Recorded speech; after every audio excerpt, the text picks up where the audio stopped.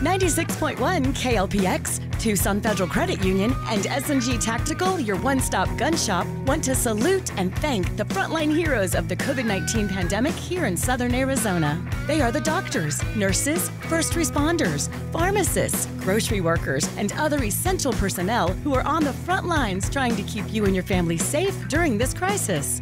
If you know somebody battling the virus, healing the sick, protecting the public, stocking the shelves, driving trucks, delivering mail, or going to work every day to make sure we all have what we need, you can nominate them for a chance to be highlighted as a frontline hero on the air, online, and on our social media. Get us your frontline hero nomination at klpx.com.